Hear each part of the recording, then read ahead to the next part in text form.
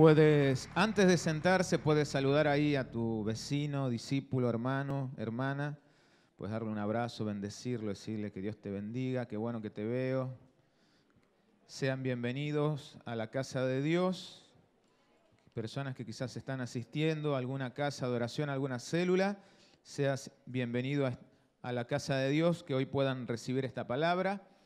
Y a toda la gente linda que también nos sigue a través de las redes que Dios bendiga sus vidas y espero que lo que vamos a compartir pueda ser de edificación para la vida de ustedes. Amén.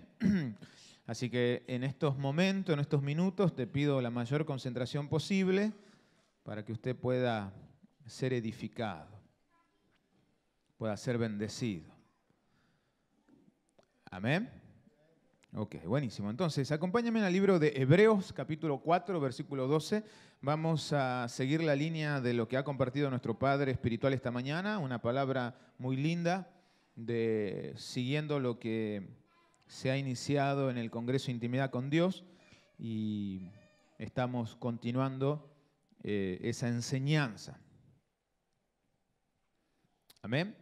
Así que busca ahí en tu Biblia, Hebreos 4, 12, capítulo 4, versículo 12. Vamos a leer un fragmento muy conocido y vamos a seguir la, la, enseñanza de esta mañana acerca de el logos y el rema, es decir, logo y rema. Tremenda palabra. Esta mañana hemos tenido una reunión poderosa de bendición, escuchando testimonios de mucha bendición. Y bueno, queremos compartirles eh, esta palabra. ¿Estamos ahí entonces? ¿Tiene ahí su, su, su Biblia? Dice lo siguiente, porque la palabra de Dios es viva y eficaz. Y dice, y más cortante que toda espada de dos filos, y penetra hasta partir el alma y el espíritu, las coyunturas y los tuétanos y dice, y discierne los pensamientos y las intenciones del corazón. Amén. Vamos de nuevo con esta palabra. Dice, porque la palabra de Dios es viva y es eficaz, y más cortante que toda espada de dos filos, y penetra hasta partir el alma y el espíritu, las coyunturas y, el, y los tuétanos. Y dice, y discierne los pensamientos, no solamente que discierne pensamiento, sino que también discierne las intenciones del corazón. Amén.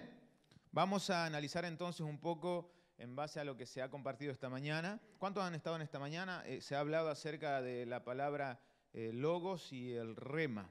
¿Cuántos han escuchado eh, esa tremenda prédica esta mañana? Amén, ¿verdad? Entonces hoy, vamos a, a seguir de alguna manera analizando eh, la diferencia entre el logos y el rema, ¿sí? Eh, porque por ahí algunos eh, escucharon la palabra y dicen, bueno, pero ¿cómo puedo obtener un rema, no? ¿Cómo se puede hacer eso? Entonces, quería justamente poder dar una explicación acerca de la diferencia entre el logos y el rema. En base a esta palabra que dice en Hebreos capítulo 4, 12. Amén. Acompáñenme a esto, ¿sí? a esta enseñanza. En griego eh, eh, es el idioma en que el Nuevo Testamento se escribió. Y eh, en, en, el griego existen dos vocablos que se han traducido al español como palabra. Y uno es logos, decir conmigo logos. Y otro es rema, decir conmigo rema. Amén. Uno es el logos y el otro es rema. Ambas son palabras del griego. El, Antiguo, el Nuevo Testamento eh, fue escrito en el griego. Eh, los dos vocablos mencionados tienen matices diferentes que en el español lo refleja. Es decir, ambas palabras significan, decir conmigo, palabra, valga la redundancia. Decir conmigo, palabra. El logos y el rema significa palabra, pero tienen matices diferentes. ¿Está bien? Decir conmigo, logos es la palabra de Dios. ¿Sí? El logos es la palabra de Dios que ha sido escrita una vez. Decir conmigo una vez. ¿Está bien? Entonces cuando dice que eh, nos referimos a logos, el logos es la palabra escrita, ¿no? La palabra de Dios que ha sido eh, dicha una vez, se escribió una vez. Está todo acá. Ese es el logo, la palabra escrita. Amén.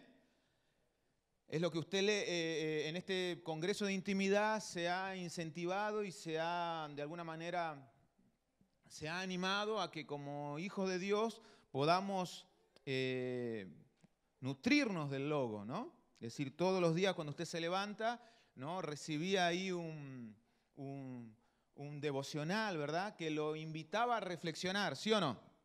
¿En base a qué? En base a la palabra, decía conmigo a la palabra, decía logos a logos, ¿no? a, lo escrito acá, ¿verdad? Usted recibe un fragmento de la palabra de Dios, es el logos, es lo que se escribió una vez. Amén. Y cuando hablamos de rema, cuando hablamos de rema, que hoy escuchábamos de recibir un rema, el rema es la palabra que se ha dicho, que ha sido dicha por segunda vez. Es la palabra revelada, así conmigo, palabra revelada.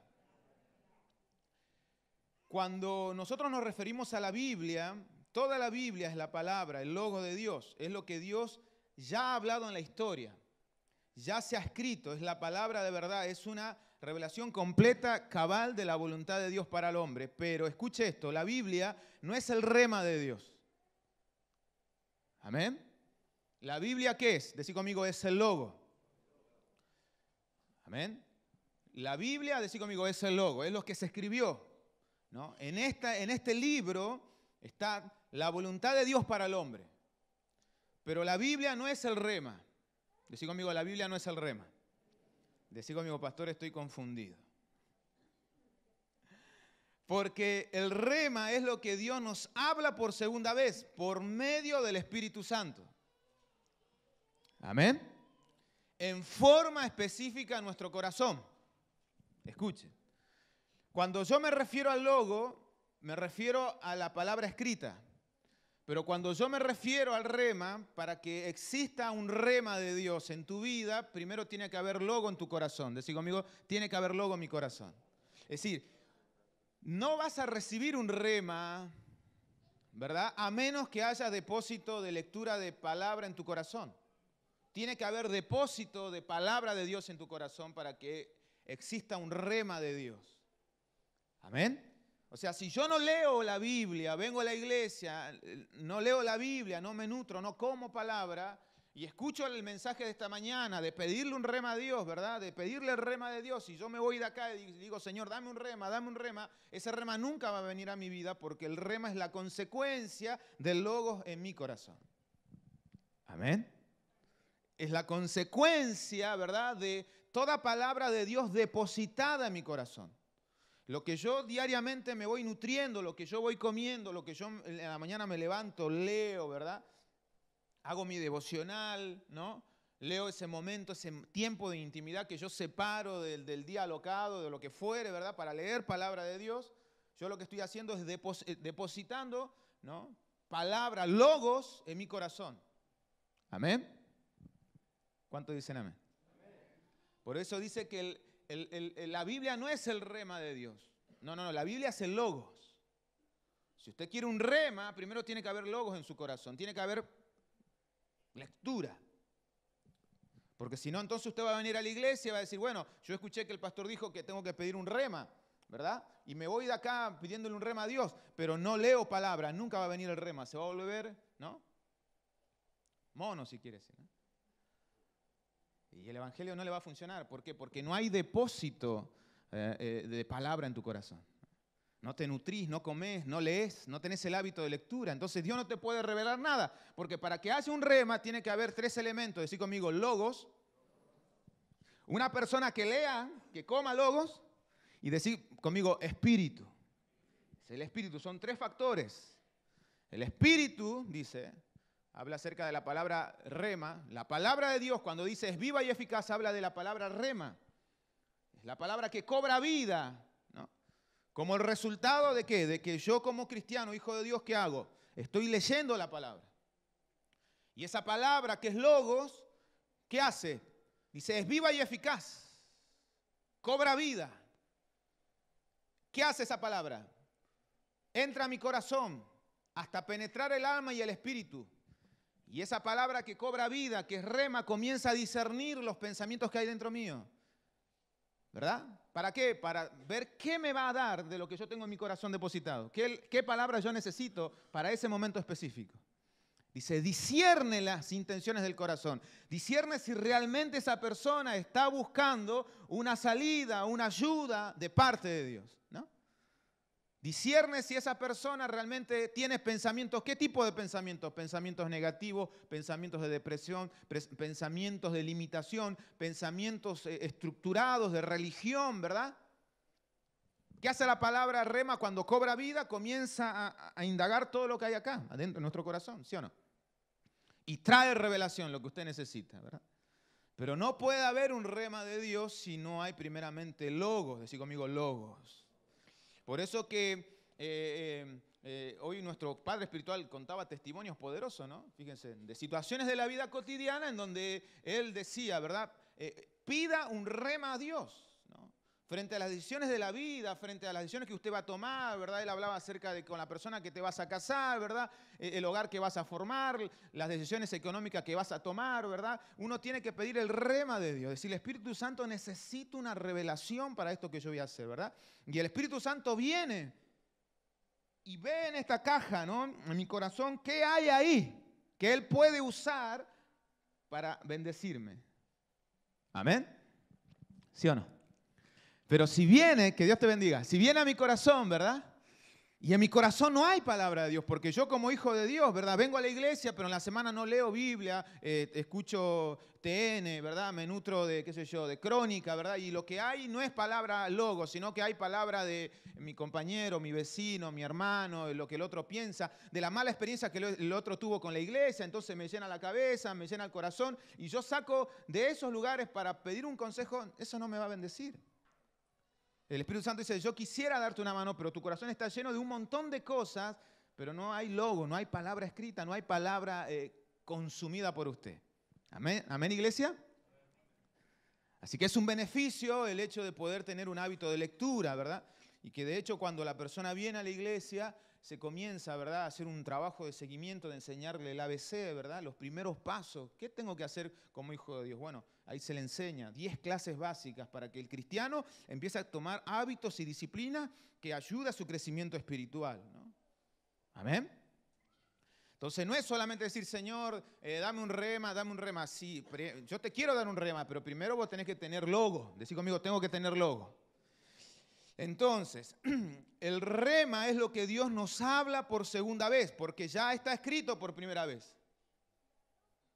Ya fue escrito por primera vez, logos. El rema es lo que Él nos habla por segunda vez en base a su palabra que ha, sido escrita, pero hablándonos de formas específicas en nuestro corazón. Amén. Y vamos a ver un ejemplo en la palabra de Dios. Cuando María recibió la visita del ángel, el ángel del Señor le trajo el rema de Dios. Porque estaba escrito que había de nacer un Mesías. ¿Qué estaba? Escrito. Que iba a nacer qué cosa? Un Salvador. Le trajo un rema en base a lo que ya estaba escrito, porque había logo primeramente. Y en base al logo, lo que ya se escribió, que iba a nacer un Mesías, entonces el Espíritu Santo le trajo un rema a María y le dijo lo que eh, le dijo ahí en la palabra, ¿no? que ella va a ser un instrumento ¿no? en donde iba a ser usada para traer al Hijo de Dios. Amén. ¿Va comprendiendo lo que les quiero decir? No dice, pastor, yo no leo la Biblia, entonces nunca va a venir un rema a tu vida. Nunca, nunca va a venir una revelación. Amén. Entonces dice lo siguiente, entonces... Eh, el Espíritu Santo le trajo, el ángel le trajo el rema de Dios. Por eso María pudo decir en Lucas 1.38, hágase conforme a tu palabra. Hágase conforme a qué? Decí conmigo a tu palabra. Dios le había hablado a ella de forma específica. Entonces usted tiene que entender en esta noche que el rema de Dios no es independiente del logo. Es como yo le digo a usted, yo no voy a leer la Biblia, pero Dios me va a dar un rema. Ejemplo, como hoy el apóstol decía, no, yo quiero una novia, quiero una novia, pero no leo la Biblia, ¿verdad? Pero digo, Señor, dame un rema, ¿cuál es la mujer? ¿Cuál es la mujer? Pero no hay palabra en mi corazón, el Señor no me va a dar nada. Porque no hay nada para que Él pueda usar dentro de este corazón, ¿verdad?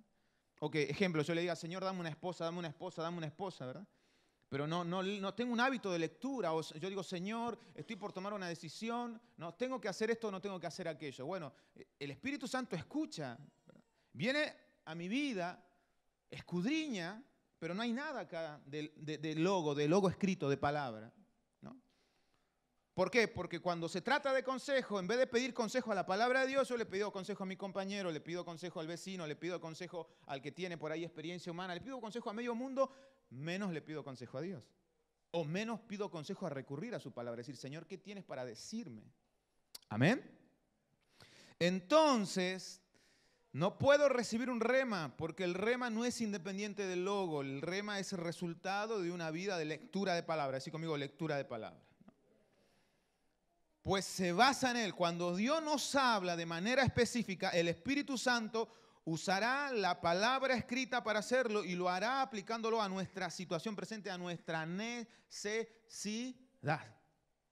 Mire, yo estaba pasando en una etapa de mi vida por un momento de muchas luchas y pruebas y dificultades de pruebas. ¿Verdad? Y cuando estaba haciendo mi, devocional, ¿verdad? De leer la palabra, recibo una palabra poderosa, un rema que se me revela en ese momento, en donde dice, ¿no? Yo te puse como muro fortificado, ¿no? Mire, en ese momento yo recibí, ¿qué recibí? Decí conmigo un rema de Dios.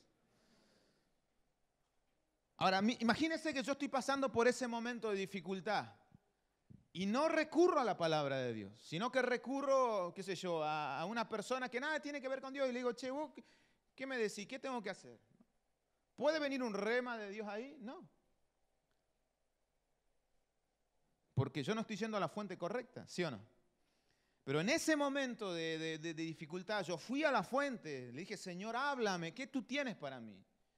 ¿Qué tienes para decirme? Estoy pasando por esta situación de prueba, dificultades, pareciera que las cosas, gente se ha levantado en contra de mi vida, qué sé yo, gente que no, nos quiere, no me quiere, qué sé yo. Situaciones de la vida. Entonces el Espíritu Santo dice que escudriña. ¿Qué escudriña? El decir conmigo el corazón. Las intenciones, discierne. Y, él, ¿Y qué vio ahí? Que esta persona necesita una palabra de aliento. Necesita una palabra que le levante qué cosa? El ánimo. ¿Sí o no? Necesito una palabra de qué? Que, lo impulse, que no baje los brazos, que tiene que seguir para adelante. Entonces vino la palabra correcta, el momento correcto. Y, esa palabra decía que Dios me puso como una muralla fortificada. Y dice la palabra, y pelearán contra ti. Gloria a Dios, por eso que estoy teniendo lucha. Pero no te vencerán, dice la palabra de Dios. Ah, gloria a Dios. ¿Por qué? Dice el Señor, porque yo estoy contigo. ¿Para qué? Para librarte. Y no voy a cantar porque eso lo hace Eric y Willy. Pero fíjese, ¿no? Es, esa palabra para mí fue una palabra revelada, fue un rema de Dios que tenía que, seguir adelante, no tenía que bajar los brazos. No tenía que detenerme, que era la dirección correcta, que, que la palabra estaba diciendo, se van a levantar en contra de tu vida. Pero pastor, estoy yendo a la iglesia, dice la palabra, y vas a tener luchas y pruebas, ¿no? Pelearán contra ti, pero no te van a vencer. Mantente firme. ¿En qué me tengo que mantener firme? ¿En mi fuerza? Decir conmigo, no. En la palabra. Porque la palabra Logos está diciendo, yo estoy contigo. Ah. Escuche, se te revela, Dios está diciéndote, estoy contigo, cabezón, cabezona. ¿No? Y vos decís, pero me siento solo. Y Dios está diciendo, yo estoy como poderoso gigante con vos se te revela esa palabra y vos como que sacás así pecho, ¿no? Decís, wow, gloria a Dios, vengan de a uno. ¿Sí o no? No hay, no hay con qué. Amén. Pero si usted va y pide consejo a fulanito, a menganito o al que fuere, ¿verdad? Aún no estoy diciendo que, porque nosotros trabajamos bajo la base del discipulado y cuando por ahí usted tiene una situación le digo, vaya y consulte con su líder y no está mal.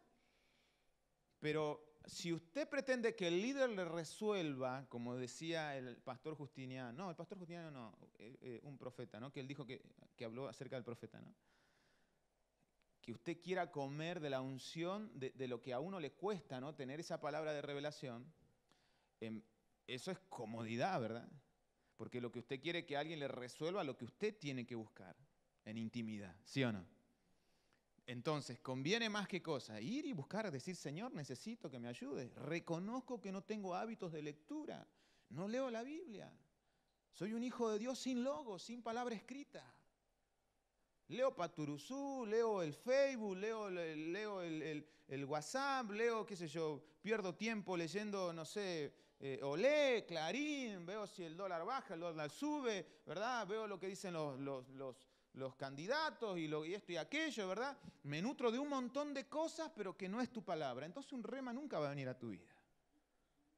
Amén. Sigamos entonces. ¿Cuántos están entendiendo la diferencia? ¿Entienden la diferencia? Es poderoso, ¿verdad? Entonces, si usted quiere un rema, ¿usted qué tiene que tener primeramente? Logos. Decí conmigo logos. ¿Eh? Bien.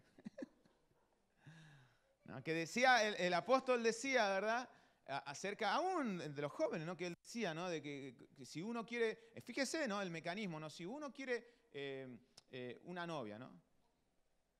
Un ejemplo, ¿no? Porque a, todo joven que hoy está casado le pasó en algún momento.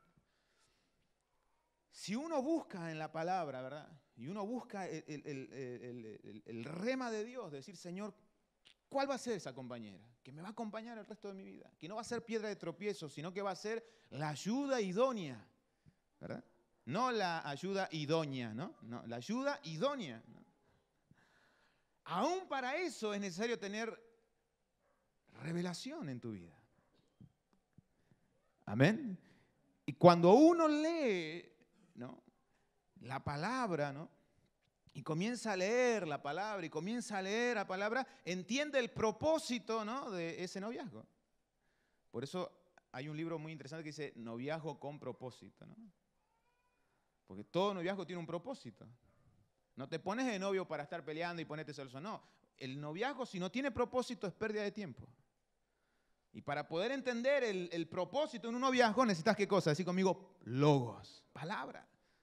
Porque Dios no te, o sea, piensa en esto, Dios no te puso una ayuda idónea para estar celándote y peleándote y perdiendo, no, a mí sí, esto no, corta vos. Eso nos pasó a todos, ¿verdad? No, corta vos, no, vos corta vos, no, vos corta vos, cuatro horas, ¿no? ¿Oran con un propósito específico? No. ¿Le piden a Dios por algo en común? No. ¿Me explico lo que les quiero decir? No hay propósito. Amén. Entonces, eso que se está construyendo, en algún momento, ¿no? se va a quebrar y va a generar lo que no tendría que generar. Pero si esas, esas vidas jóvenes ¿no? Leen palabra y comienzan a nutrirse y cuando se presenta delante de Dios del altar dice, Señor, dame un rema, quiero saber si esta persona es. Como hay logos en nuestro corazón, el Espíritu Santo nos revela, nos dice sí o nos dice no. Amén. En una decisión en la que yo voy a, voy a, voy a estar por tomar, ¿no? hoy yo escuchaba ¿no? el testimonio de nuestra hermana Regina, que ella decía, fui bendecida sin sacar un préstamo. fíjese eso. ¿Por qué? Porque cuando una persona camina bajo buscando la revelación de Dios, el rema de Dios, no nos vamos a arrebatar a tomar decisiones en donde Dios no esté incluido ahí. Yo decir, Señor, ¿qué es lo que me conviene? ¿Qué es lo que tengo que hacer? ¿Verdad? Y yo comienzo a leer la palabra y leo ahí la historia de José que dice que era una persona que tenía una unción en donde José estaba, Dios estaba con él. Y todo lo que José tocaba, dice que era prosperado y dice que estuvo como esclavo eh, eh, eh, en un calabozo acusado de violador, injustamente, y en el calabozo, en, en lo más profundo de ese calabozo, dice que todo lo que José tocaba era prosperado y bendecido. Amén. ¿Qué significa eso? Se te revela la palabra, de decir, Señor, yo quiero el espíritu de José, esa unción que esté sobre mí, para que todo lo que toque sea bendecido, ¿no? para que todo lo que toque sea multiplicado. Tengo que hacer esto, Señor. Dame la inteligencia y la sabiduría. Dame, dame la inteligencia para ver qué tengo que hacer y cómo lo tengo que hacer. Amén. ¿Cuánto dicen amén a eso? No, arrancamos. Y yo voy y no decido y no pregunto nada a nadie porque yo soy el que Y bueno, así después nos va, ¿sí o no? Porque buscamos un rema de Dios, decir conmigo, no, no buscamos un rema de Dios. Le dimos para adelante como, ¿no? Como cabezones, ¿no? O como cabezones. No buscamos un consejo. No le dijimos al Señor, Padre, ayúdame, ¿qué tengo que hacer? ¿Tengo que comprar? ¿No tengo que comprar? ¿Tengo que vender? ¿No? ¿Qué tengo que hacer? En base a lo que uno va leyendo, en base a lo que uno se va nutriendo, ¿verdad? Cuando uno pide un rema, entonces el Espíritu viene y entonces empieza a ver qué hay acá adentro.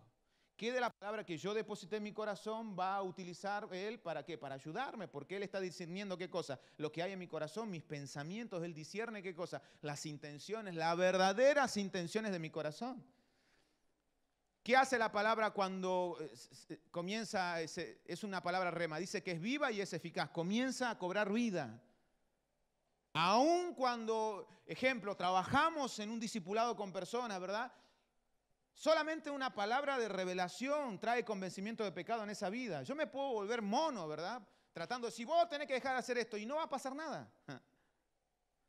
Pero yo le enseño, lo disipulo, le enseño a leer la palabra. ¿Qué le enseño? A leer la palabra. Y después digo, Espíritu Santo, conforme a lo que esa persona ha leído, revélale lo que tiene que hacer. Y el Espíritu Santo le revela conforme a que a lo que la persona permitió que entre a su corazón. Escuche, para los que discipulamos, yo no le enseño a leer la palabra. Yo lo único que hago con consejos humanos tratar de cambiar a la persona. Nadie cambia a nadie. No tenemos la capacidad. Esa es la obra del Espíritu Santo. Solamente el Espíritu Santo trae convencimiento de pecado en el ser humano. Me voy a volver mono. Pero yo le enseño a depositar a esa persona lentamente palabra en su corazón. Le enseño palabra. Lee los proverbios piensa antes de actuar. Lee el libro de Josué, esfuércete, sé valiente. ¿no? Comenzá a leer el Nuevo Testamento, sí, el Nuevo Testamento. Somos nuevas criaturas en Cristo Jesús. La persona comienza a depositar logo en su corazón. Como la, la consecuencia de ese logo depositado en su corazón, viene el rema. Y esa persona tiene un encuentro con Dios. En ese cuarto, no en la iglesia, con un teclado de fondo, no, no, no, en su cuarto Dios, el Espíritu Santo le revela, tienes que dejar el cigarrillo, tienes que dejar la mala vida, tienes que dejar la droga, tienes que dejar el alcohol, tienes que dejar tomar malas decisiones. El Espíritu Santo le revela conforme a qué cosa? A los depósitos de palabra escrita en su corazón. ¿Sí o no? ¿Amén? ¿Cuánto dicen amén a eso? Amén. No hay de otra manera. Yo lo que hago es enseñarle a que la persona coma qué cosa, así conmigo, palabra. Entonces dice, un fragmento del logo se transformará en el rema para cada uno de ustedes y suplirá nuestras necesidades. Cuando eh, Jesús contestó a Satanás en el desierto, le dijo, no solo de pan vivirá el hombre, sino de toda palabra que sale de la boca de Dios. Y a esa palabra a la cual Jesús se refería en el libro de Mateo 4:4 es a la palabra rema, a la palabra revelada, a esa palabra que cuando usted, ¿verdad? Eh, estaba en un momento de necesidad, le pidió a Dios, cobró vida. ¿Sí o no? Y esa palabra que cobró vida te nutrió, se te reveló. ¿Qué trajo? Transformación. ¿Qué trajo? Restauración. ¿Qué trajo? Liberación. ¿Qué trajo? Sanidad. ¿Qué trajo? Perdón en tu corazón. Esa palabra que salió de la boca de Dios porque ya estaba escrito, esa palabra ya está escrita, ¿no? que dice amarás a tu prójimo como a ti mismo. Esa palabra ya estaba escrita. ¿Salió de la boca de quién? Decí conmigo, de la boca de Dios. Y decí conmigo, y se me reveló.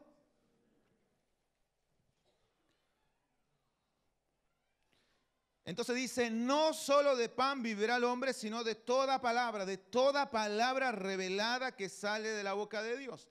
El Señor había recibido, Jesús recibió el rema, una palabra que ya estaba escrita, Él recibió en ese momento para hacerle frente a Satanás en ese momento de tentación, en ese momento de desierto, en donde Satanás le estaba diciendo, ¿no? Hasta el cosa. Aún en nosotros como hijos de Dios aún usted en un momento de tentación, en un momento en donde por ahí vienen las ganas de patear el tablero, que se hagan agua los helados, solamente lo que te va a rescatar de ese momento es que usted diga, Señor, ayúdame, dame una palabra rema en este momento. Y ahí el Espíritu Santo va a venir para auxiliarte y va a sacar un logo que hay en tu corazón. Depósito de palabra en mi corazón. Y ahí entonces el Espíritu Santo ve y ve, a ver qué hay acá que le pueda servir a esta persona en este momento. Entonces, en un momento dado, yo me sentía, ¿verdad?, eh, dentro de lo que tenía que ver con el servicio y el llamado, una persona indigna, ¿verdad? Porque muchas veces yo había prometido a Dios un montón de cosas que nunca cumplí, por un sentido común. Somos seres humanos. Y mientras estemos en este cuerpo, vamos a tener limitaciones y vamos a fallar. Amén. Entonces, frente a cada cosa que prometía y no podía cumplir, yo me iba acomplejando frente a Dios, porque yo decía, yo no soy digno de presentarme delante de Dios porque yo le, le fallo un montón a Él. Pero sin embargo, yo no cortaba mi hábito de lectura, leía, de, por sí me gusta leer eh, mucho eh, la palabra, me gusta leer libros, nutrir mi, espíritu. Y se me reveló una palabra poderosa, que es el fragmento en donde Jesús Dice, dándose vuelta Jesús, miró a sus discípulos y les dijo algo poderoso. Ustedes no me eligieron a mí, sino yo les elegí a usted. Y en ese momento vino una revelación de parte de Dios que me llevó a investigar la cultura de la época en el pueblo de Israel, en la época de Jesús. Y en esa época, escuche, preste atención, los grandes maestros de la ley, los que enseñaban la Torá, ellos, ¿no? Ejemplo, según el, dinero que tenía la persona, el discípulo, eh, podían elegir a sus maestros.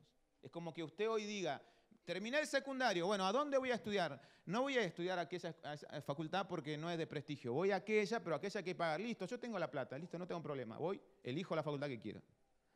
Entonces, en esa época, los hijos de, de las familias pudientes elegían los mejores maestros. Por eso estaba eh, Saulo de Tarso, había sido enseñado por Gamaliel, que era un tremendo hombre de, la ley en esa época. Ellos iban y elegían, decían, yo quiero a este maestro, ¿cuánto hay que pagar? No hay problema, acá pago. Entonces, ¿quién elegía al maestro? Decí conmigo, el discípulo. Pero con Jesús es diferente. Jesús salió a buscar a sus discípulos. Y no buscó gente pudiente, o sea, no buscó gente pudiente, no buscó gente intelectual, buscó gente, ¿verdad?, que él consideraba valiosa para el reino. Por eso él iba en contra de la corriente. ¿Van, entendiendo lo que yo les quiero decir? La revelación viene ahí diciendo, no, Guido, no, nunca vas a ser digno. Mientras estés en esta tierra no hay ser humano que pueda ser digno delante de Dios porque somos pecadores, vamos a pecar hasta el día que nos vayamos de acá y seamos transformados en gloria. Ah. Dice que en ese momento ya no habrá sufrimiento, no habrá dolor, no habrá estrés, no habrá ganas ni de ir al baño, ni de comer, no habrá nada, dice. No habrá preocupación si el dólar sube, el dólar baja, ¿verdad? En ese momento dice que todos estaremos alabando a nuestro Señor lo que habremos perseverado y seamos recompensados por ese galardón. Ahí usted no va a estar diciendo, ay, me duele el juanete, ay, me duele la rodilla. El otro día yo le tuve a mi, hija, ¿verdad? Haciéndole dormir, le hice los, las siete vueltas de Jericó, más seis más, y no se dormía. Bueno, ahí le, puse las 40 de los desiertos, con 40 vueltas. Decía, por favor, dormite, por favor. Porque empecé a sentir que me dolía la cintura, hermano. Sí, muchachos, después de los 35 comienzan a doler cosas que antes no dolían. Me dolía el brazo que lo tenía como entumecido, así, ¿no? Y decía, por favor, dormite, dormite. Dice que en el cielo, cuando estemos con Él, no habrá eso. Decí conmigo, no habrá más dolor. No te va a doler el juanete, la uña encarnada, ¿verdad? No va, no, no, no va a haber necesidad ni de ponerme gel, hermano. Si usted me ve sin gel, realmente va a decir, Padre, en el nombre de Jesús, ¿qué pasó? no va a hacer falta nada de eso. Entonces en ese momento vino ese rema de Dios a mi vida. Vino una tremenda palabra, Pedro. Fue tremendo la revelación de Dios. Través de la palabra. Jesús me dijo, no, cabezón. Ustedes no me eligen a mí, yo los elegí a ustedes. Y si los elegí es porque somos valiosos para Él. Entonces eso como que me dio una inyección, ¿no? Y mi baja autoestima, esto de estar siempre, viste, delante de Dios como sintiéndome eh, pecador, sucio y cochino. Dije, ahora entiendo que si Jesús te eligió, si Jesús me eligió, es porque Él algo vio en nosotros.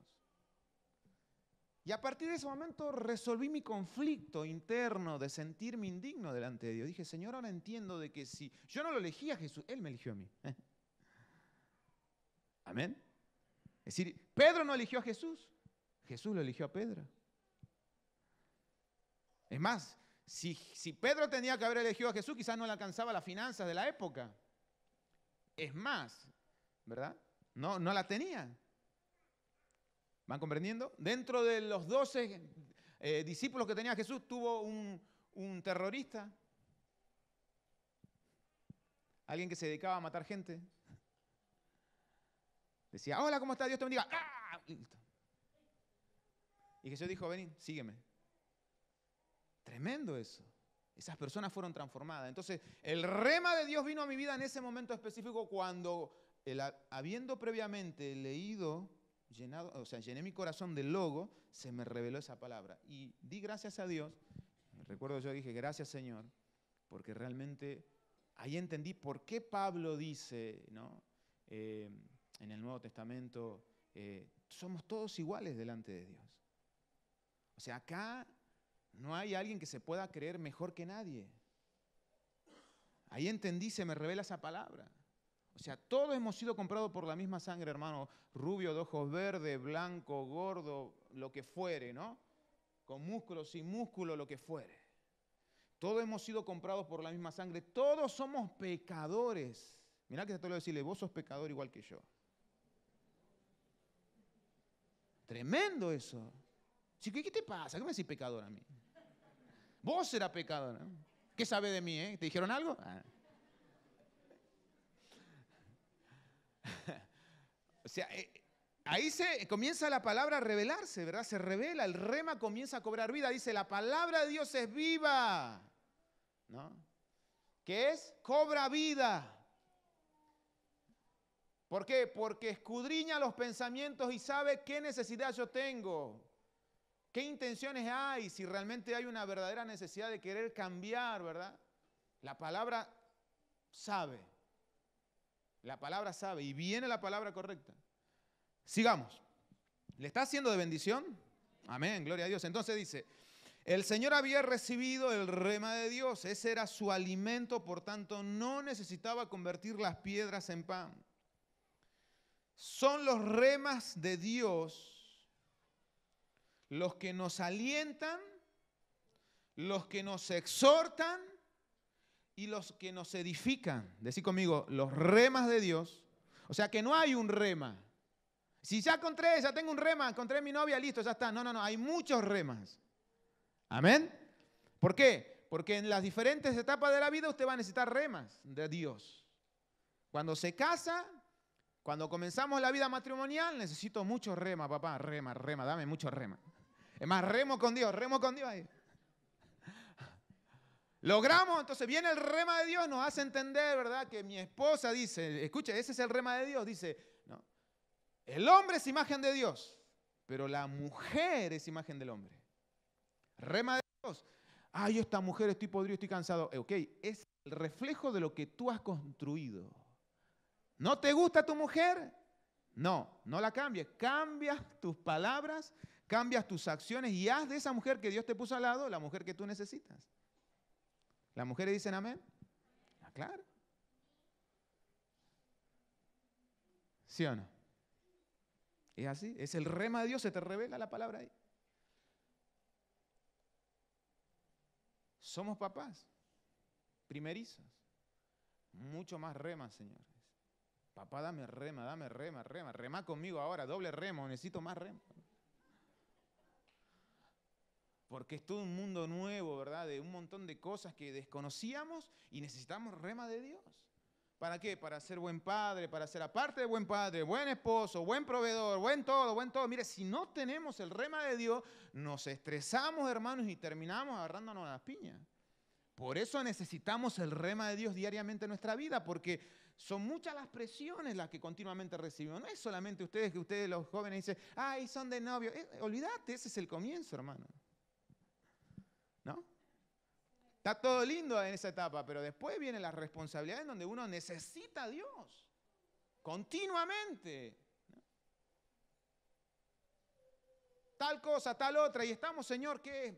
En el nombre de Jesús, Padre, revélanos, ¿qué, es lo que está pasando acá?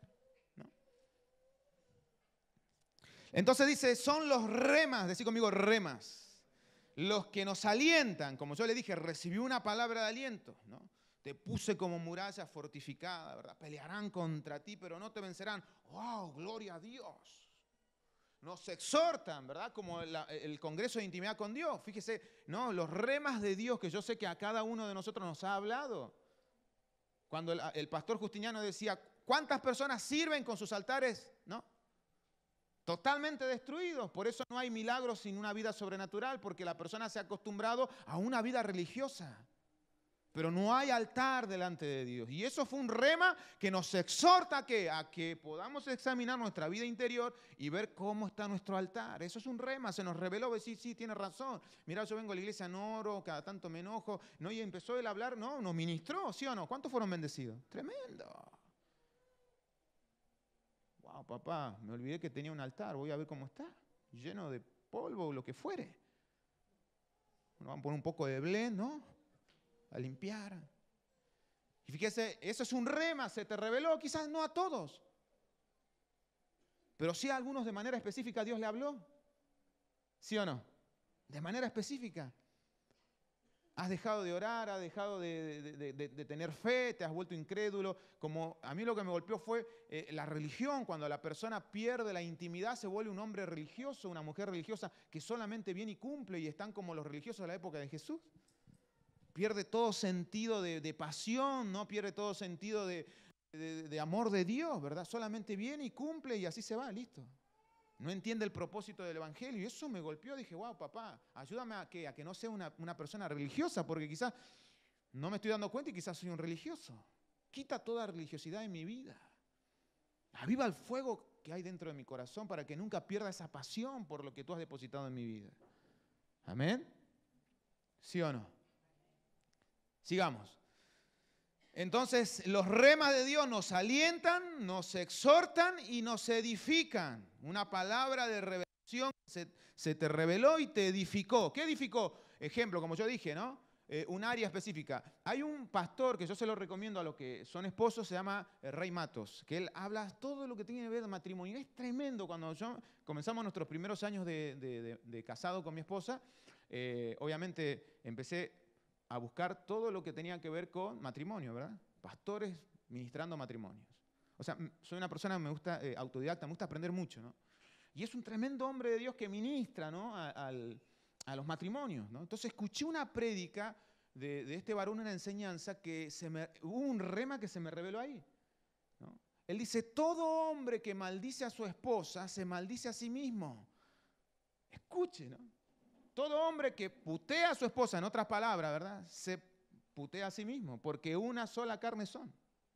No es que soy yo y Damaris, no, somos delante de Dios, Dios ya no ve dos unidades separadas. Delante de Dios Él ve una sola unidad. Es como un Guido Damaris, así sería, ¿no? una guida sería, ¿no? Fusión. No es que Dios me vea a mí por un lado y a mi esposa. No, no, dice Él los, ve como una sola carne. Tremendo. Entonces ahí me vino y dije, tiene razón. ¿Por qué? Porque mi padrastro, ¿verdad? Valga el respeto también. Toda su vida él maltrató a mi, a mi mamá, la violentó con palabras. Toda su vida le dijo, vos sos esto, hija de aquello, hija del otro, pe, vos, ¿no? Y, sin embargo, lo que hizo él fue maldecirse a sí mismo. A mí se me reveló la palabra y dije, mira, tremenda la palabra. Por eso que nada de lo que ha emprendido le, iba bien. Nada. Todo estaba trabado. Y el hombre no se dio cuenta en su, en su testarudez que él se automaldecía a sí mismo. Él creía que en realidad era guapo porque maldecía a su esposa, pero en realidad eh, eh, en su necedad se estaba maldiciendo a sí mismo. ¿eh? Entonces se me reveló eso y, entonces dije, claro, sí, entonces en nuestro matrimonio no tiene que haber eso. Porque a veces uno como que, viste, uno como que te quiere salir el toro salvaje, ¿sí o no? La camioneta toro de, la marca, ¿no? Toro. Hmm. Pero aún tiene que refrenar, ¿por qué? Porque si yo maldigo a mi esposa me estoy diciendo a mí mismo. ¿Qué tema, no? Es como que te pega un cocacho vos mismo, así. Tremendo. Y esa es una revelación, es un rema de Dios a través de una administración. Dios nos ve como una sola carne. Por eso también la palabra de Dios dice que si el esposo no es, es inconverso, se santifica por medio de la esposa. Tremendo eso, ¿sí o no? Qué tremenda revelación que cuando uno se, se alinea a Dios, uno comienza a recibir remas que nos exhortan, que nos edifican. En, este, en, este, en esta área, eh, eh, edificar nuestra área eh, matrimonial. El otro día estaba con mi, con mi hija haciéndole dormir, ¿verdad? Me toca a mí el turno de la noche, entonces le, hago dormir, le doy la fórmula y ahí comienzo a improvisar, hermano. Porque Dios me ha dado como la unción de David ahora y comienzo a tocar los salmos de Guido ahí. Comienzo, y comienzo a improvisar, a cantarle cosas, ¿bien? Y me acordé lo que eh, eh, mi padre espiritual nos, dijo el otro día, que vos, por ahí vos sos joven, sí, pero ¿cómo yo estoy orando por mis hijos? Entonces yo comencé a bendecir a mi hija mientras estaba caminando, dando vuelta, ¿no? Yo decía, duérmase, Y Yo le digo, duérmase, bebé. Y me acordé. Entonces puse la mano sobre el pecho de ella y dije, Señor, yo declaro sobre la vida de mi hija un futuro de bendición. Que el día de mañana cuando ella se case, el hombre que la acompañe la honre no sea un hombre violento, no la maltrate, no la denigre, sino que sea un hombre de bendición, un hombre que te busque a ti. Yo declaro la bendición sobre mi generación, Padre, y comencé a bendecirla. Y vos sí, pero tiene seis meses, te está loco. No, no, no. Un rema de Dios se me reveló. Dije, yo tengo que soltar palabra. Hay acciones que cuando la persona las inicia, uno dice, bueno, pero yo estoy haciendo las cosas mal, pero no veo nada malo. No, vos no. Tus generaciones van a ver porque dice, en ti son benditas, pero también en ti serán malditas. Entonces por ahí la persona dice, pero yo estoy en pecado y no veo nada raro, no veo nada que no, no, me cayó un rayo ni me partió al medio, sigo vivo. Pero has abierto una puerta de maldición que tus hijos y tus nietos y quizás un tataranieto, ¿verdad? Reciba la recompensa de esa mala acción. Tremendo eso. Y así también cuando uno se alinea a Génesis 12 y comienza a declarar la palabra, hay muchas bendiciones que quizás nosotros no lo veremos, pero nuestras generaciones disfrutarán de esa bendición como consecuencia de hombres y mujeres que recibieron un rema de parte de Dios. Entonces yo estoy bendiciendo hoy a quien el día de mañana, ¿verdad? Sea, ¿no? Ese muchacho que aparezca, ¿verdad? Diciendo, ¿puedo hablar con usted? ¡Ra! Tremendo. Mira, si sí, pasa, ya habré por vos. Amén. ¿Van entendiendo? Uno le pone un poco de, humor, ¿verdad? Pero, pero bueno, es, es, la ley de la vida, es así. Entonces, los remas nos alientan, nos exhortan, nos edifican. En este caso, en mi parte, ¿verdad? Para poder ser un buen padre, cada día me esfuerzo por hacer por eso que también eh, la palabra de Dios dice lo siguiente, en cuanto a los padres, dice que los padres, ¿cómo somos los padres? Ustedes siendo malos padres, dice Dios. Ah, la pipetuana. Intentan dar buenas dádivas, dice. ¿Cuánto más Dios ¿no? que nuestro Padre Celestial?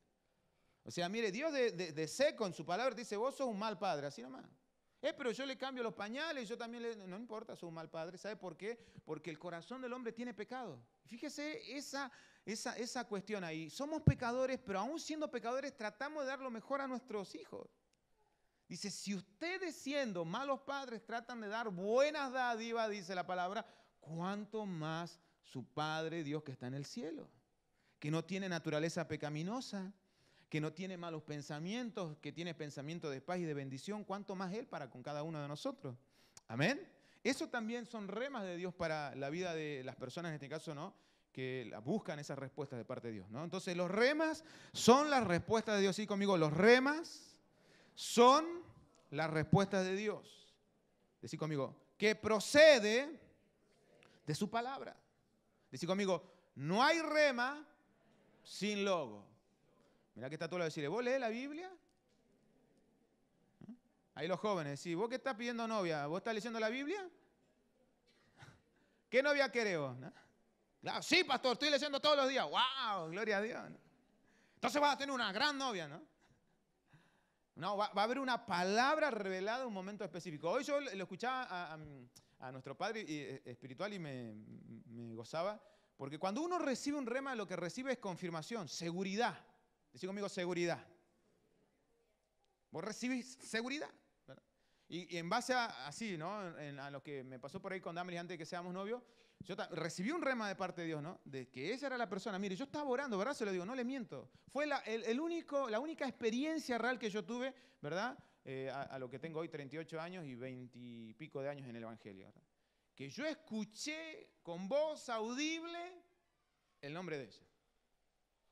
Y venía de una vida por ahí de, cometer errores, como joven, por ahí era muy enamoradizo. ¿Algún joven se identifica con eso? Amén, ahí saltó una, ¿no? Amén, amén. Ya.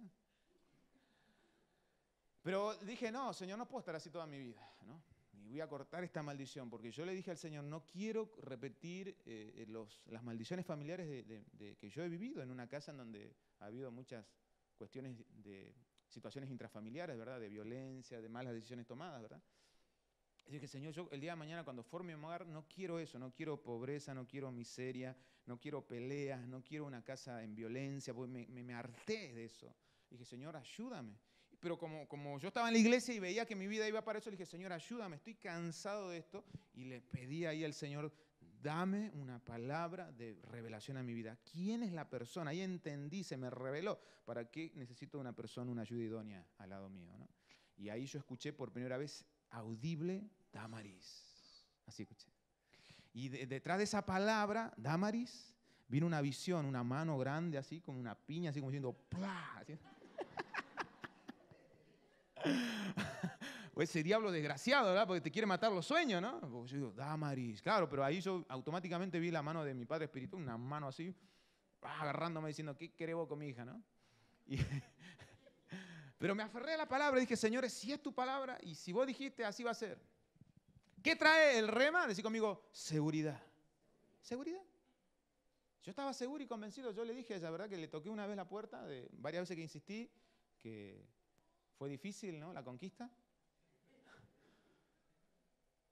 Y bueno, en la última dije, ya estoy cansado. Le dije, yo voy y le digo lo que vos me dijiste, señor. Le dije, mira, vos te vas a casar conmigo, le dije. Así nomás, no me interesa, reíste, lo que fuera. Así morocho y todo, te vas a casar conmigo. Elito me di media vuelta y me voy.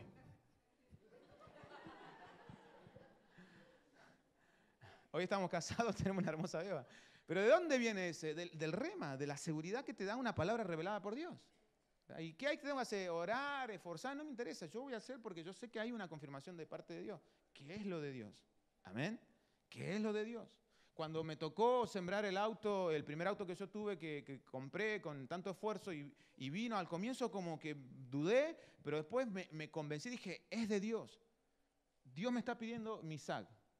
Y fui y lo sacrifiqué, le dije, apóstol, esto es, Dios me pidió que siembre el auto. Y al mes compré un cero kilómetro. El primer cero kilómetros sin tener un mango, Dios me reveló y me bendijo con eso. Fue tremendo. ¿Pero por qué tenía la seguridad? Porque hubo una palabra que se me reveló y mucha gente se me rió, me dijo, eh, te, están lavando la cabeza, te roban, te están robando la plata. Y dije, mire, no me interesa. Ahora, ¿qué hubiese pasado si yo hubiese escuchado a eso? Yo estaría todavía con ese auto. Que en verano, mire hermano, transpirábamos más que afuera. ¿No? ¿Te acuerdas? Le poníamos una sábana porque como eran eh, los, autos viejos, eran como tenía como pan así, ¿no? Y en, en verano hacía un calor, hermano. Mira, ahí sí que transpiramos como testigos falsos. ¿no? Pero dije, Señor, si tú me lo pediste, yo te lo voy a dar. Y yo sé que tú me vas a bendecir y Dios nos bendijo, me bendijo con el eh, primer cero kilómetro. Y hay una gran diferencia. Entonces, cuando uno se acostumbra a caminar en, los remas de Dios, eso te super bendice. Así que vamos terminando acá. Acompáñame, Pastor Héctor. Entonces, ¿cómo obtener los remas de Dios? Así conmigo, ¿cómo puedo obtener estos remas? Primeramente tenemos que estar muy familiarizados con la palabra, el logos. Como jóvenes, tener la cultura de empezar a leer la Biblia, ¿verdad? De empezar a comer palabra de Dios. Empezar a tener ese hábito de empezar a leer palabra. Mire, hoy, con la tecnología que tenemos, hoy podemos tener muchos, eh, muchas maneras de poder hacer. Hay, hay una aplicación que es Santa Biblia, que la mayoría yo creo que lo deben tener de You versión, puede ser, y tiene hasta inclusive planes devocionales de una semana, de siete semanas, ejemplo, eh, hay uno de los planes que dice siete cosas que la Biblia dice sobre la paternidad, en este caso que yo estoy transitando ese momento, ¿verdad? Y, son planes de, la Biblia que te ayudan y todo está ya todo preparado. Así que hoy no nosotros no podemos decir, no, la verdad es que no sé cómo, sí, ¿no? Eh, otro plan que yo estaba leyendo es las 10 cualidades de un gran líder, ¿no? Entonces uno se va nutriendo desde la palabra de Dios, ¿no? Entonces eh, yo decía esto, lo siguiente, ¿cómo puedo obtener un rema, pastor? Yo necesito tomar una decisión en mi vida, estoy cansado de, vivir la vida así. ¿Cómo yo puedo recibir una revelación de parte de Dios? Bueno, primeramente examina en tu corazón si realmente hay hábito de leer la Biblia. Dice, no, pastor. Bueno, entonces primeramente tenés que empezar a trabajar en leer la Biblia, en hacer un hábito de la lectura. ¿Sí? Decir conmigo, hábito de lectura. En un tiempo en donde hay una gran tendencia a distraernos, la cultura eh, de hoy tiene que ver con lo visual, o sea, hoy es como que se ha perdido la cultura del libro, ¿verdad? Cada vez eh, la juventud de hoy es una juventud diferente a la nuestra. Eh, lo que te impacta son imágenes, imágenes, imágenes, ¿verdad? Es, tremendo por ahí vos cuando ves a un chico que agarra un celular, pareciera uh, más rápido que Flash, ¿verdad? Y por ahí los que ya somos un poco más veteranos de guerra, ¿viste? Estamos... ¿Y cómo pongo la arroba, verdad? ¿Y cómo hago una captura de pantalla? ¿verdad? Ahí está, cuatro horas dando un curso, tutorial. ¿verdad? Entonces son generaciones muy diferentes a las nuestras, ¿verdad? Yo imagínense, eh, yo comencé con el Windows 95, arrancamos con unos disques así negros, íbamos y le poníamos el tico así, media hora para que arranque la máquina. Y apretamos uno, dos, tres. Enter. Y la cultura de ahora no, es una cultura totalmente diferente. Entonces, hoy nosotros podemos familiarizarnos eh, con, eh, aplicaciones que nos puedan enseñar la palabra. Siempre nosotros decimos de mantener el libro, la palabra escrita, ¿verdad? Decir, no, porque yo tengo en el celular y a veces aún el, uso del celular puede generar algún tipo de distracción, ¿no? Cuando por ahí usted viene a la iglesia y eso, pero si tiene su Biblia, también haga el hábito de poder leer la palabra, ¿no? Eh, para poder también eh, conocer el, tema de los libros, ¿no? Dónde está el Antiguo del Nuevo Testamento, ¿no? Cuando la pastora por ahí dice algún libro que medio raro, ¿no? Abacú te dijo, y vos decís, ¿dónde está Abacú, no? ¿Vino Abacú hoy, no? ¿No? Una vez nos pasó que hicimos un espadeo y pusimos a, dos jóvenes ahí a, pelear ahí a competir y salió eh, Apocalipsis, salió creo, ¿no? Apocalipsis. Y dijimos, bueno, es re fácil. ¿Saben que estuvimos media hora buscando Apocalipsis? Dije, Señor, toca la trompeta, nos lleva ya. Sí, ¿verdad? Pues no podíamos creer, ¿viste? Y eso habla de qué? ¿De qué habla eso? De que la Biblia no la agarra ni qué, ni por casualidad, ¿verdad? O sea, la ve pero no sabe qué es lo que hay adentro. Habrá receta de comida, qué sé yo, ¿no? Entonces, el hecho también de tener esa cultura de poder leer la Biblia, de poder también asociar los libros, poder ir conociendo la palabra de Dios. Entonces, ¿cómo puedo obtener remas? Primeramente, eh, generar una familiaridad con el logos, con la palabra escrita. Decir conmigo, tengo que llenar mi mente y mi corazón con la Biblia. Amén. Tienes que llenar tus pensamientos, ¿verdad? Con la palabra. ¿sí? Dice, así el Espíritu Santo tendrá provisión para hablarnos en situaciones determinadas. Amén. Usted tiene que llenar su corazón con palabra, con logos. Lea la palabra. Y en momentos específicos, cuando vengan los momentos de, dificultad, de prueba, de lo que fuere, de tribulación, el Espíritu Santo va a tener recursos de donde agarrar para revelarnos. Amén. Él va a tener ahí recursos. Recuerdo eso una época en donde comenzamos a hacer guerra espiritual, ¿no? Y, sabíamos que había toda una situación de macumberos que trabajaban en contra de la iglesia, sabíamos la actividad espiritual que estaba aconteciendo, comencé a decirle, Señor, guíanos, ¿qué tenemos que hacer? ¿Contra qué estamos peleando? Porque Eso también usted tiene que entender. Hay, hay situaciones que son a nivel familiar, como yo les dije, hay maldiciones generacionales que quizás se han abierto sobre tu vida y, y al no saber contra lo que vos estás peleando, vos estás pegando piña al aire. Entonces decirle, Señor, revélame, papá. Un rema a mi vida espiritual, porque yo veo en esta área que hay una traba. Que e, en esta área hay algo que me cuesta, que me está costando, que me está pasando y no sé qué es lo que, es, lo. Revélame contra qué entidad espiritual yo estoy peleando a nivel familiar. Hay familias que están envueltas en las drogas. Es una entidad, un principado muy diferente al que está envuelto en pobreza y en miseria. Es muy diferente al que está eh, envuelto en la violencia, en los hogares, en la escasez. Son todos principados y potestades. La palabra dice, tu lucha no es contra tu esposo, tu abuelo, tu tatarabuelo. No, no, es contra principados y potestades. Hay familias que vienen de tragedia tras tragedia y son principados. Y usted vino a la iglesia porque sabe por qué está en la iglesia, porque Dios necesita regenerar, necesita una persona para bendecir y cortar esas maldiciones.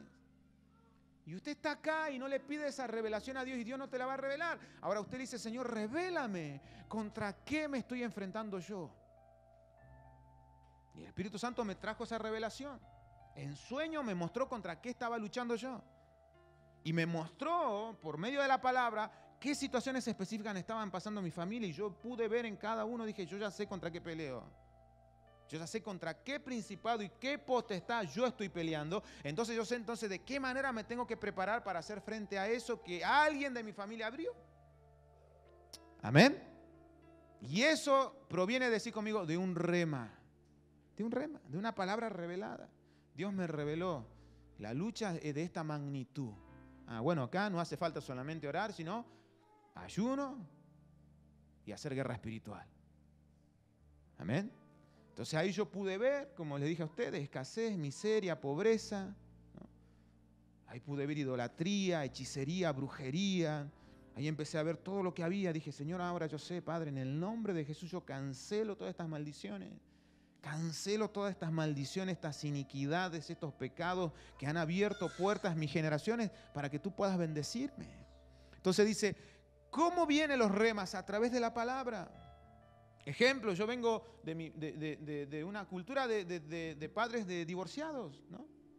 Todos divorciados, divorciados, divorciados. Dije, Señor, cancelo esa maldición de inestabilidad en las relaciones sentimentales. Eso se tiene que cancelar en mi vida. Además, yo declaro sobre la vida de mi hija que el día de mañana va a tener una familia sólida. Pero alguien se tiene que levantar. Por eso la palabra dice, yo busqué, dice, ¿no? ¿Qué busqué? Alguien que hiciese que vallado. Alguien que, que pidiera revelación. ¿Qué está pasando? ¿Contra qué estoy peleando? ¿Verdad? Y no encontré a nadie. ¿Por qué? Porque había gente que no leía la palabra, no buscaba revelación de parte de Dios. Amén. Y Dios trae esa revelación para qué? Para bendecir tu vida. Entonces, el primer paso es llenarte de palabras. Así conmigo, llenarme de palabras llenar tu mente, sacar esos pensamientos negativos, esos pensamientos de miseria, esos pensamientos de derrota, esos pensamientos de no puedo, esos pensamientos de decir esto no lo merezco, sacar todos esos pensamientos porque la palabra de Dios dice que Dios, sus pensamientos son diferentes a los nuestros. Usted dice yo no lo merezco, Dios dice yo tengo mucho más todavía para vos. Amén. Entonces, todos esos pensamientos que están en mi vida, negativos, de limitación, de religión, Padre, sácalos en el nombre de Jesús y comienzo a llenar con palabra, palabra, palabra. Palabra que dice, sos más que vencedor en Cristo Jesús. Palabra que dice, somos nueva criatura. Tremendo. ¿Sí o no? ¿Qué otra palabra que puedo decirme ahí usted? Que haya sido un rema para usted. Todo lo puedo en Cristo que me fortalece. Yo recibí un rema de Dios, esfuérzate y sé valiente. Y remarcó, esfuérzate. O sea, la conquista va a estar, pero te tenés que ¿qué? Esforzar. Si no te esfuerzas, si sos valiente, no va a pasar nada. ¿Qué tengo que hacer, pastor? Esforzarme. Viene un rema de Dios. Esfuérzate y sé valiente. Esfuérzate y sé valiente. Comienzo a meter en mi mente pensamientos de fortaleza, comienzo a buscar palabras que se me revelan y me mantengo firme en el camino. Amén. El Espíritu Santo tomará la letra, el logo y la transformará en espíritu, pues la palabra rema es espíritu y vida, es la palabra viva de Dios. Por eso dice, porque la palabra de Dios es viva y eficaz y es más cortante que toda espada de dos filos y penetra hasta partir el alma. El alma tiene que ver con el, asiento de las emociones. Entra hasta las emociones, hasta cómo uno se siente. Mire, la palabra es impresionante, ¿no? y discierne el pensamiento y las intenciones del corazón. Iglesia, esta semana tiene que ser una semana en donde usted pueda recibir un rema de Dios a tu vida. Decir conmigo, amén.